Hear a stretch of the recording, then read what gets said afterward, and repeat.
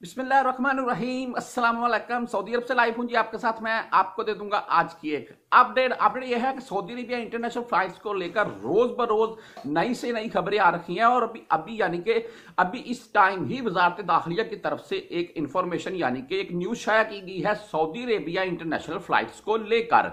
पहले मैं आपको यहाँ पर वाजिया करता चलूँ, बीस ममालक के लिए फ़्लाइट बंद कर दी गई है जी। दोबारा से आज दो तारीख वाले दिन ये अनाउंसमेंट जारी कर दी गई है और इस पर कल तीन तारीख से अमल दरामद शुरू हो जाएगा। कौन से ममालिक के लिए फ्लाइट्स बंद की गई हैं, बाई कब तक बंद की गई हैं और कौन से बंदे आ सकते हैं, उनको कोई किसी किस्म की रोकथाम नहीं होगी सऊदी अरेबिया में। और ये फ्लाइट्स वगैरह कितने अरसे के लिए बंद की गई हैं? आपके साथ डिटेल से शेयर कर देता हूँ। सबसे पहले आपको बता दूँ, मैं बीस ममालिक के लिए फ्लाइट्स इंटरनेशनल सऊदी अरेबिया ने दोबारा से बंद कर दी है। हालाँकि अगर तीन से चार हफ़्ते पीछे जाए तो आपको पता है जी, तमाम तर बंदरगाहें, जमीनी रस्ते फ्लाइट्स वगैरह बंद किए थे, उसके बाद दोबारा से खोल दिए गए थे, लेकिन अभी से दोबारा से भाई इंटरनेशनल फ्लाइट्स पर पाबंदी लगा दी गई है बीस ममालक में, जिनमें सरफरस्ती पाकिस्तान और इंडिया के नाम आ रखे हैं।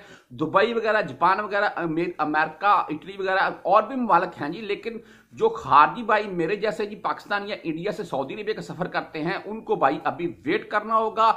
हाँ लेकिन अगर आप पहले टिकट बुक करवाते हैं, यानी कि भाई बुध वाले दिन रात नौ बजे के बाद से इस पर अमल दरामद शुरू होगा, यानी कि रात नौ बजे के बाद से कोई भी फ़्लाइट सऊदी अरेबिया में दाखिल नहीं हो सकेगी। अगर आप भाइयों की भाई इस दौरान टिकट है, फ़्लाइट है, यानी कि तो आप सऊदी अरेबिया में आ सकते हैं। अगर आप अपनी टिकट वगैरह बुक करते हैं इस दौरान, यानी कि नौ बजे से पहले अगर आपका जहाज़ भाई सऊदी अरेबिया में इंटर होता है तो आप सऊदी अरेबिया में आ सकेंगे, कोई किसी किस्म का मसला नहीं है। अभी बात कर लेते हैं किन बंदों को भाई सऊदी अरेबिया में आने की इस दौरान इजाज़त होगी, उनको कोई किसी किस्म की रोकथाम नहीं होगी।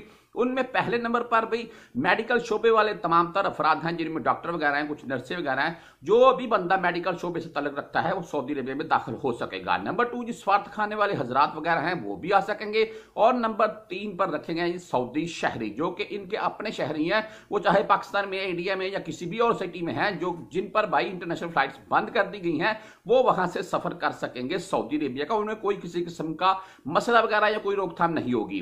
रही बात हम खारजी भाइयों की पाकिस्तान और इंडिया वाले, खास करके हमारी भाई फ्लाइट्स वगैरह बंद कर दी गई हैं इंटरनेशनल सऊदी अरेबिया ने। और डेट वगैरह के मुताबिक आपको बता दूँगा, जैसा कि पहले बंद की गई थी, सात दिन का टाइम दिया गया था और मजीद उसे सात दिन के लिए बढ़ाया गया था। तो अभी इसके मुतलक कोई सात दिन, दस दिन, पंद्रह दिन, एक माह कोई टाइम नहीं दिया गया है। सिर्फ़ और सिर्फ़ ये ऐलान कर दिया गया है कि इंटरनेशनल फ्लाइट्स बीस ममाल की बंद कर दी गई है।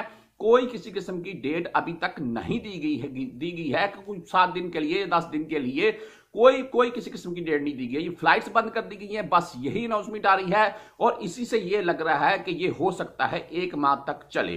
तो आप भाई अगर कल नौ बजे से पहले की टिकट बुक करवा सकते हैं या अगर आपकी है तो आप आ सकेंगे।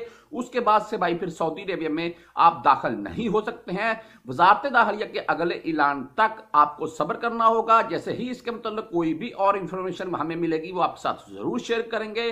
तब तक के लिए जी, अल्लाह हाफिज।